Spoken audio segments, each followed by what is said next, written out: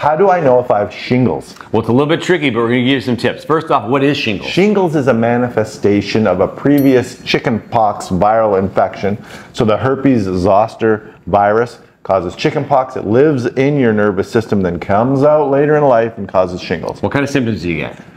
First symptoms are generalized malaise, pain, headache. The light could be bugging you like any other viral illness. Three, four days later, you start to get a rash and it comes on like crazy. Red, vesicular, fluid, very painful. Sticks to your abdomen, usually does not cross the midline, but often goes to your back as well. And the other thing is you've had to have had the chickenpox before to get shingles later in life. Now you know. If you like this video, please like and subscribe to our channel. And remember, you are in charge of your own health.